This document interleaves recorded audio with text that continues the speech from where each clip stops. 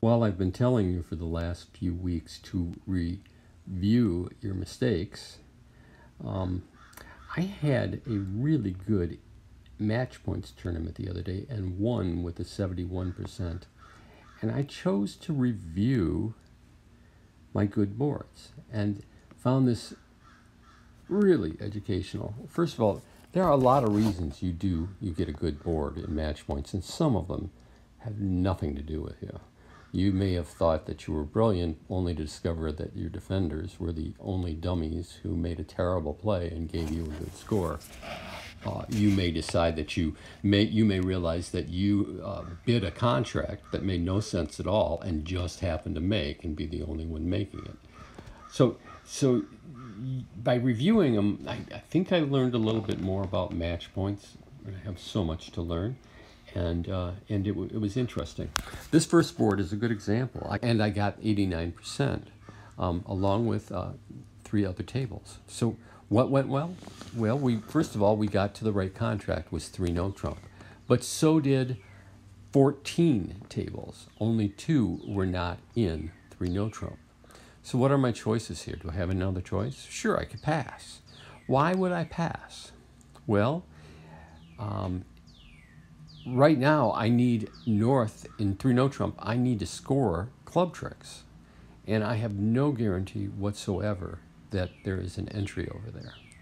And if for some reason I screw up and lose and don't have an entry or lose the entry by poor play, then I'll get a bad score. Um, so, and if that condition exists, if there's no entry over there, Leaving this in three clubs with 20 points could result in a good score. In fact, it did. One table left it in three clubs, and because so many other people, so many other tables were not able to cash out their club tricks, they actually ended up with a 71%. So passing, right, with a, with a field that is not going to make ends up being okay, but that sort of feels like leaving it up to chance. So I don't know. I bid three no trump as, as did almost everybody. So I feel like I got to the right contract, right? I want to be playing, I don't want to be the only one in three clubs. I want to be one of the uh, 14 people in, in three no trump, and then I want to do better than them. Okay? So comes down, and my fears are realized in that only the Queen of Hearts can provide an entry. Right? Critical to having any chance on this is to unblock the Ace and King of Clubs before leading at the Queen of Hearts. And the King of Hearts must be in West for this to succeed. So, right away, my 3 no trump is down to a 50% chance. Now, West starts with the 7 of spades, which doesn't look bad. I have King Jack 10. That's usually good for a stopper. Um, so I'm feeling pretty good. Um, I play the 10, and East goes up with the ace and um, and I'm and I'm going to play low. What was the seven? Was it from length? Well, if you look at the rule of eleven that we talked about last week, then there were four cards higher than the seven out there: the ten, the ace, the king, and the jack. Which means West probably has the balance of the spades. Um, is it five or is it six? Right? Well, there are a lot of little cards out. Um, here comes one of them, the six. And now I have a choice, um, a choice to make here. If I stick the jack in, I could be in a lot of trouble. Um, I, I see the king jack now as sort of being a, a stopper. Also, the other thing that's out there is I don't know for sure that this is from a doubleton, even though it seems like West might have six. And uh, it might be interesting just to put West to the test. And that's what I did in the game and he let him win it. And as it turns out, East only had two. He can't lead back through. Um, and he leads the heart instead, which is not the best situation for me, right? Because if this guy has the king, um, then he should let me win, or right? He should let me win. Or perhaps the smart thing is for me to play the ace. Whoops, is to play the ace here, because I need to unblock this. I still got the same situation, right? Because I can lead up to the queen. I have two hearts. This is the way to play it. Yeah, now the queen is established and I control the spade suit. He has to lead a diamond and this will be the last trick.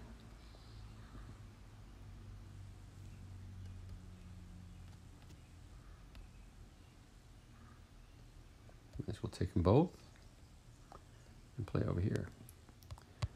And the, and the rest of the hand is good. So let's start this one by looking at um, the results. And you can see that um, there becomes a choice of, of whether to let them play in two spades, which you're able to set, or whether to go to three diamonds in competition. You can see you open a club, spade, two diamonds, two spades, let them play it, set them for 42%, right, getting 100, or take a chance on making three diamonds, which is 110. Right? So the idea is like that 10 point difference, right? One way, if you can beat spades down one, that's a negative 100. If you can't, then you, and you bid three diamonds, then um, you can make 110, then you're good to go. And obviously, as it shows here, you can actually make 130. Now look at the colors, right? If you were able to convince the robot that a penalty double was of two spades, because you believed you could set two, two spades, if you could actually get a penalty double in, you could score negative 200 and get a clear top. But these are the choices that you have to make. So I wanted to preface it. Let's see if we can spot some of these as we go. Uh, this is kind of an area of match points that I need lots and lots of work on. We have 6, 7, 6, 13 points. Right? And uh, we start with club. Okay, and um, we're now in the decision seat. So we can let them play two spades. It would appear, remember our two diamonds here is a free bid, right? They We have most of the points. 6, 7, and 6, 13 plus uh, maybe 11, If we take them out, that's 24 points. We're not going to be able to play no trump. Um, he didn't seem interested. He bid the he bid diamonds in, and uh, instead of doubling, which he might have done if he had hearts and hearts and diamonds. Um, so I don't think he, there's a heart fit. So it looks like it, it's, it's diamonds is our fit, and we have to decide, do we have a defensive enough hand to de defeat two spades? And point-wise, if we think we're going to beat two spades, and we think other people are going to be bidding two spades, and if we think three diamonds works, we can see a clear way to a top with a double, assuming our partner would leave it in, which I don't think he would because he's a robot. And also, I don't think it's necessarily the right bid. Um, I'm not sure that I can look at this hand and think that somehow I can hold them to seven tricks. I don't. I just don't know where they're coming from. Maybe if the maybe we get a couple diamonds, we get a couple clubs, maybe a heart. I just don't see where I have a reliable enough basis to conclude that I'm beating two spades. Maybe a better evaluator could see it. So I bid three diamonds. Right? Beating two spades would have been negative 100, but letting them make was 110, and I didn't want to do that. So I'm going to stop this right now, put it back up so that we can be in the other seat.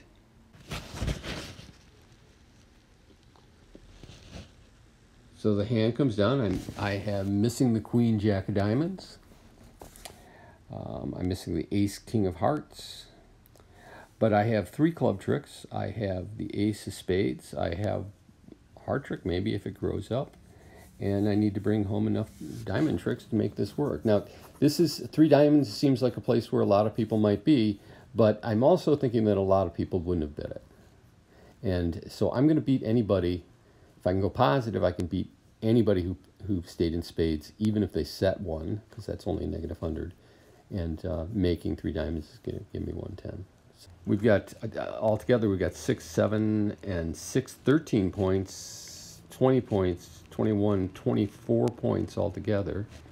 And if we remember the bidding, um, West made an overcall in spades and with some little support over there. So of the remaining 17 points, 16 points, you know, it would seem as though West probably has most of them. Which would include the Queen, Jack of Diamonds, the King, Queen of Spades, probably the King of Hearts, see if he continues with the king. He doesn't. So probably the, he was leading a small or even a small. They bid a heart, right? No, they bid spade. So yeah, probably um, he was just cashing out there in robot style. Let's see what we could do. Um, is there a, any sense in me leading a heart here to the 10? Setting up the queen jack. We'll see. Problem here is if they were splitting badly against me, uh, they get a heart ruff, but let's see. And then here comes the heart. And a diamond. A diamond comes out, which I can cover. Now, if the queen of diamonds is in west, we're home free, and that seems completely logical to me to try to finesse for the queen here. And they both follow, so I can drop the diamond. Um, do I have the rest of the tricks? If so, I did better this time than I did when I uh, played the tournament. Both to follow, and when they do, spade is gone, and I uh, made plus one. So this will give me an actual top board, and the, would have given me the top board in tournament because I made the plus one. But like I said, my goal actually was just to make nine tricks because I felt that 110 was going to be a good score. Making 130 is even better. As we can see in the tournament, uh, 130 gives you a 96. But just making, making that decision on whether to defend or play was the key to doing well. All right, so we'll move on and we'll start with the outcome of this one as well. As you can see, I'm at the top of the list there, uh, one of five who made 420. But look what else went on, right? We had a guy in clubs going down one, getting a 64% setting, choosing to play them at three clubs, um, setting it. And then we had a bunch of people who did not make. So I'm viewing this one. And so what's the contract? As we look at this, what contract do we really want to be in? Well, we want to be in four hearts. Why? Because just about everybody else is in four hearts. And then we want an opportunity to make as many tricks as we can. This is the classic, there is no game bonus at match points because everybody who matters is um, in four hearts. And when I say everybody who matters, that's because this guy in three clubs, these two people who chose to defend three clubs, just don't matter to us. Their scores are unrelated to ours because there's only two of them. So four hearts is the right contract. And uh, let's go back to the board and see what it looks like. So this auction is weird, and I can see why some people got stuck in three clubs, I guess. Um, it opens one no trump, and of course we have four, six, five, eleven points, a game going hand, and we transfer to hearts. Um, this guy bids three clubs, which is their way of super accepting. Um, West doubles, and West doubles because they actually have a club suit right? So this gives the, you know, whatever happened at those other tables, somehow the three clubs was first bid by West. So looks like maybe some bad auctions over there. People didn't know how to use a Jacoby transfer or something. But um, we can see that the West has a club suit. This guy's super accepting with the three clubs and um, saying he has a Doubleton club with 17 points. So do we think we have a slam now in hearts with a nine kite heart suit? And I'm just lacking, I don't have a single control, so I find it real hard to make a slam try. And I'll just bid four hearts. So I end up playing the hand. Unfortunate, but no way to avoid it in that auction. Right? And we get, so we get the super dummy, which has uh, the, the promised 17 points, has the promised four card heart suit, has the promised two card club suit, right? And the only suit we're really weak in is spades. Is spades. Now remember that double, this guy passed, this guy doubled. So um, with clubs, why didn't he bid those clubs over the one no trump, I wonder? Um, interesting. So we know we're in the right contract, and so we know that we need to take, and we know that people should be there. So we need to take as many tricks as we can. Um, if the ace of clubs is in west, where it should be, and if he has, this looks like the top of a doubleton, right? So that would be six clubs there, so six, three, two, two. Um, we're just going to have a chance here to get two club tricks. Now, this is critical here. Let's see if we do.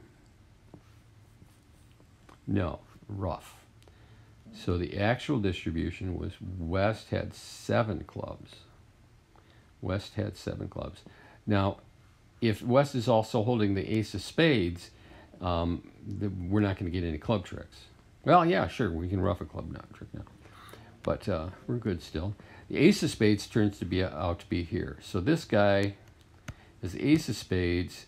If we can find a place to pitch us, well, he leads a spade again, making it easy. Leads into our king jack, right? But we have to make the rest of the tricks. So we're unable to capitalize on an extra trick here. All that seems available is the 10 we're going to get. Right? So we can pull trump here. And uh, we have ace, king, queen. We have the king of clubs. We have the king of spades. Uh, we have 10 trump. We have the top four. So we can pull trump without any problem and then just cash out. So we can claim the rest of the tricks. So classic example, right, of there is no such thing as a game bonus, right? All that mattered was making the four hearts. Coming to board nine, um, we had another sort of chance. Um, robot actually makes the decision here, but when we get to two spades, we have an issue in our hand, south hand where I'll be sitting, on whether to rebid diamonds, and as you can see, a lot of people did, right? And most of them made for 42% because there's a huge score available in a doubled spade contract. So what happened, right? Well, let's look at why I doubled. So I start with 7, 8, 9, 14 points. I have 6 diamonds and 4 hearts. Remember, playing match points, hearts pay more. So a 4-4 fit in hearts would be better than any kind of fit in diamonds. But we have to start with the diamonds. And my partner, after a spade overcall, hems and haws, tanks, and passes east bids two spades. And this turns out to be the critical point in the auction. And the way I handled it was this. If I bid my diamonds again, um, we're missing the chance that we have 4-4 in hearts. But and I'd be at three diamonds. And if they have hearts, we might be in hearts at the three level, um, getting paid a lot more to make four, four, to make a heart contract to make three hearts than we're going to get paid to make play three diamonds. Um, so if I double, he could say hearts. If I double and he says clubs, well, frankly, I'll just bid three diamonds. So I don't think I've lost anything. Don't think I've lost anything by doubling. Do I want them to just play two spades? It's a really good chance my partner has five spades or four spades. So, you know, maybe we're okay in spades as well, defending spades. Probably are. And in fact, there are in the red. So maybe the double has yet another way to win. And Kit Woolsey talks about this in his uh, iconic book, Match Points, about having two horses to win, right? If you bet on one horse to win, then you win when that horse that horse comes through for you. But if you have other horses in the race, you still have other ways to win. Here, I have a few ways to win when I double that I don't have. If I just bid three diamonds, I, I win if diamonds is the right bid. But if I double and find four, and hearts, I win. If I double and just back get back three diamonds, nothing lost. If I double and my partner indeed has five spades, he may convert. So a double puts all sorts of uh, horses in the race. Hi, Taz. Um, all sorts of horses in the race. So I double, and my partner converts.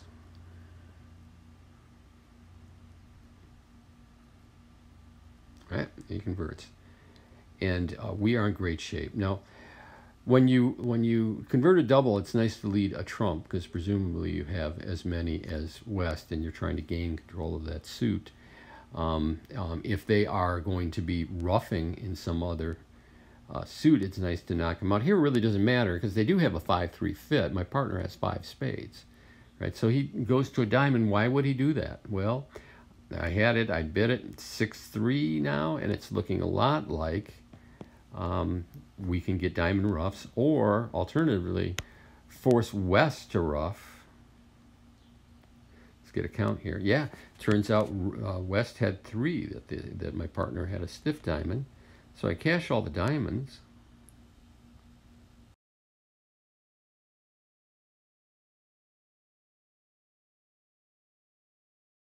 So should I try another one?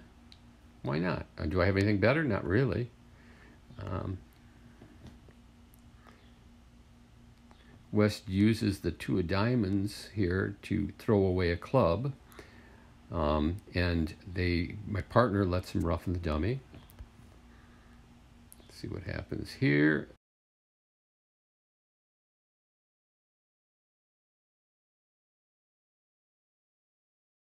think I should go up with king.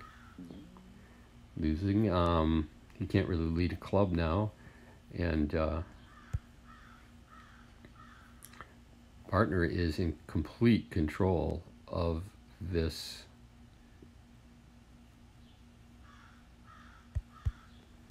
of this spade suit.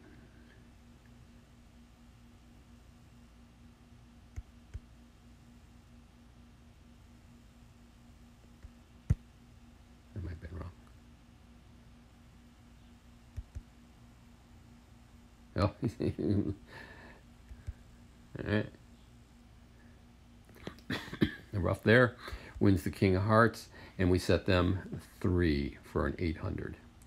Right? So the match points issue in this hand was, you know, if I rebid the diamonds, the hand is probably over. We get three diamonds, or they go to three spades, and we might beat three spades, right? So there, I guess there is another horse in the race by bidding three diamonds it may be we buy the contract we make we make 110 and that turns out to be the best place. So that's one horse in the race. The other horse in the race i guess would be they go to three spades and we're able to beat them maybe double them then. So another horse. Um, but i felt like the double also gave us the chance of finding a 4-4 heart fit. So on this one let's start again with the outcomes. Right the outcomes are pretty clear that you should be in four hearts right? There are four tables that only got to three. Um, they are not playing with us right it's the other um, 12 tables that are, are, playing with us. The three heart people, right, if they're right and we're going down in four hearts, well, that's fine. They beat us. Um, if we're right, then we beat them. But there is just a uh, binary thing there. We either win with them or lose them. We're not worried about them at all, right? The people we want to play against are the people who form the bigger part of the field. Um, here, let's play with the hearts. Game bonus doesn't matter. Let's just make our contract. Um, we have a good hand. It's got, what, 8, uh, 14, 15, 16 points. A couple of them are jacks. Um, I'm not going to open one no trump because I have this easy rebid of clubs. My partner, though, comes through with two spades. And this two spades is a limit raiser better, right? So we have our fit. Could he have, what, 14, 15 points where we might want to be thinking about slam because my ace of spades has uh, it's got so much value now that we have a fit, possibly. I don't really know how to get there, so I just kind of bid three clubs to see if it made him happy and made him do something different. I mean, bid diamonds or something. Uh, you could bid a diamond uh, control there. And uh, anyways, I tried to see if I could tempt him into something more we get to four hearts, as did everybody else. And in fact, slam was not there, so no big deal. Uh, we They start with a heart, and we have five heart tricks. The ace of spades for six. And we have king, jack, queen, nine, eight of clubs. So club tricks coming our way. And we have a possible trick in the king of diamonds if West, who did make the first overcall, holds ace of diamonds. Uh, the five card spade suit means that West has either six, five or six spades, which means East either has one or two. Um, something to be careful here. Um, and um, maybe a good reason to pull trump right away. Now I'm going to pull two, right? Two heart tricks. Leaves East a heart trick probably if West is long in spades. Then probably East had three hearts, but these are thin margins indeed. Um, getting a spade trick is kind of tough, right? Because we know the king of spades is over here. So we'd have to play the queen of spades, pitch a loser, and have him win the king. But my worry is this. If this was a singleton 10, which seems like it could be very likely that high, then um, then this guy's going to ruff. So that doesn't help me a whole lot. Although I do have the queen to get over there. Uh, unfortunately, the way I played the cards, I can't get over there that way now. I would have to pull trump. That would get presumably get rid of one, lead to the king, have it win, so that I could play the queen of spades. But the problem is then I've got diamond losers in my hand. Those are the ones I'm trying to get rid of. Uh, whatever. Um, I'm going to lead up to the queen of clubs. There's an ace. That's probably about all he's got in points. Um, um, if he has the 10, that would be plus 1. If I mean, that's a way to get an extra trick here is by playing the 9. Um, let's see, is there a downside to that?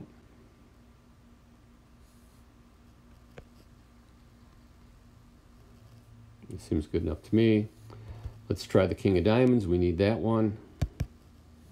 And we get it. So now um, we could try pitching a loser on this queen of spades, but as I thought would happen, East ruffs. Uh, West had a good spade suit, right? And now we, what, we can, trump are gone. Um, didn't break, the 10 was here, so there's a plus one if you took that little finesse, but instead I'll ruff. And uh, that's about all. They're not going to get anymore. But I have the ace king of hearts, so I'm making 10.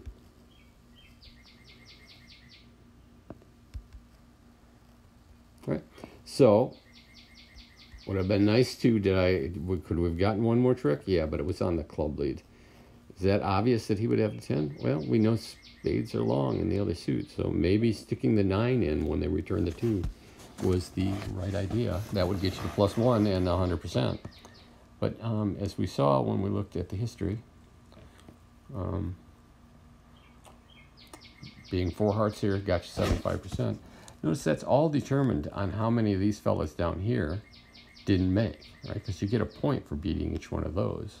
If we'd all been making, we'd only be beating these guys and we'd be only getting half point for the rest of us and that 75% would be a, quite a bit lower all right so for fun um, just to to show you how crazy first playing with the robots can be and how crazy they can make you second to show just how i hate to say it but i think whimsical some match points turn out hands turn out to be um, let's take a look at this final one um, I have six twelve points, right? A nice, I have a six card suit with nine eight with the ace queen. Um, got a hole in the spade suit.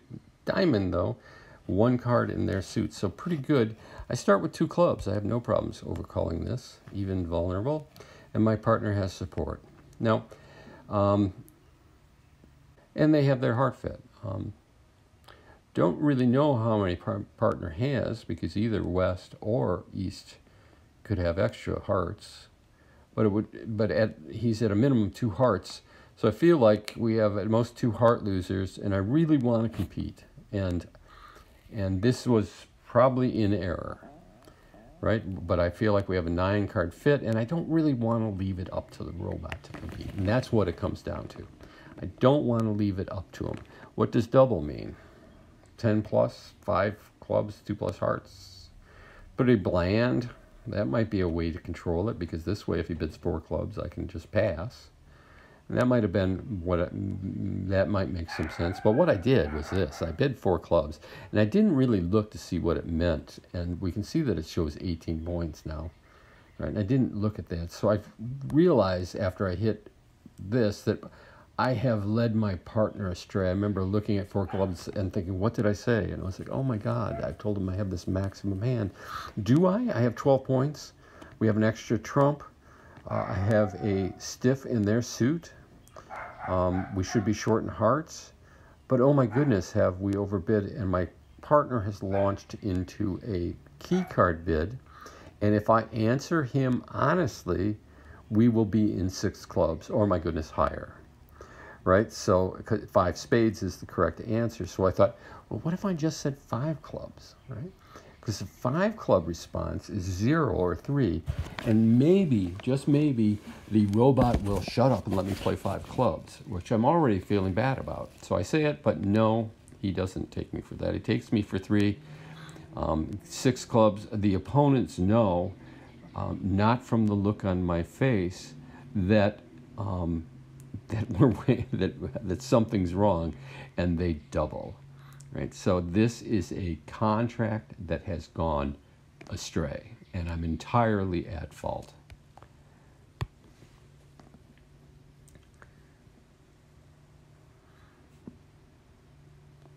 And then my partner lays down this. If you go back to the auction, here's something interesting. This double, right?